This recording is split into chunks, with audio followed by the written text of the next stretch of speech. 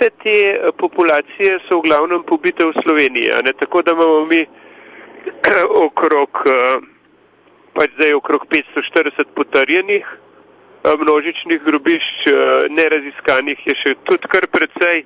Število žrtev je ocenjevano zelo različno, bliz bleso ocene tudi recimo 200 tisoč več, ta hip recimo za tezno je pač se ta hrvaški sodobnih dogodkov je hotel govoriti o 40, 50, 60 tisoč, naša ocena je za ta protitankovski jark okrog 15 tisoč, to je pač še zmerom bi rekel, to sta dve srebrenici, a ne, in to je samo ena od lokacij v Sloveniji,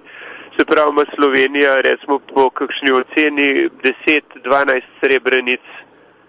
pobitih ljudi.